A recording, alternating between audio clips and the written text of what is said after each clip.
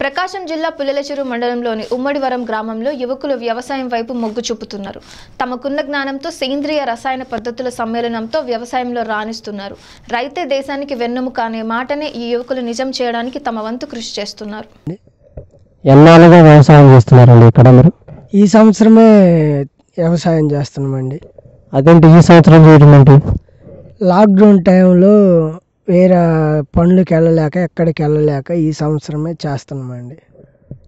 సొంత పొలమేనండి లేకపోతే లీజుకి తీసుకున్నారా? కౌలు పొలమేనండి. ఒక్కరే సాగు చేస్తున్నారా పొలము? లేదు మా అన్నయ్య నేను చేస్తున్నాం. నీళ్ళు మీరు చాలా తక్కువగా వస్తున్నాయి ఈ పంట పండిస్తారండి? ఆ పండిస్తామండి. తక్కువ వచ్చినా ఈ నేలలో ఒక గొప్పతనం ఉందండి. ఈ ఒక తడి వేసామంటే ఒక పది పదిహేను రోజులు బాగా తడి ఆరకుండా ఉంటుంది. ఇబ్బంది లేదు పంట పండిద్ది. ఏమైనా చదువుకున్నారండి లేకపోతే? నేను నేనేం చదువుకోలేదండి. మీరు ఒక్కరే వచ్చారా? మీ అన్నయ్య కూడా వచ్చారండి? లేదండి మా అన్నయ్య నేను వచ్చాం పొలంకి ఈరోజు మీ అన్నయ్యతో కూడా కొంచెం మాట్లాడదాం. నమస్కారం అండి. నమస్కారం పేరండి? నమస్కారం అండి నా పేరు సునీల్.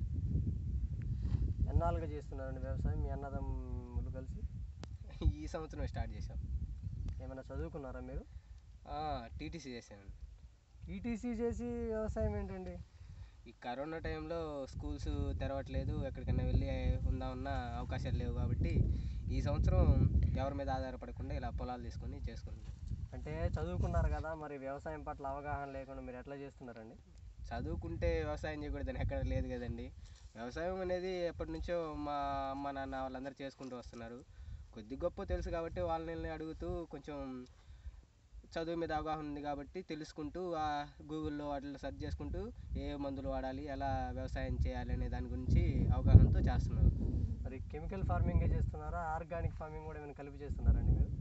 రెండూ చేస్తున్నాం అట్టా కెమికల్ కాదు ఇలా ఆర్గానిక్ ఫామ్ కాదు రెండు కలిపి కొంచెం ఒక మోతాదులో చేస్తున్నాం. ఎన్ని ఎకరాలండి ఇది? మొత్తం ఐదు ఎకరాలండి.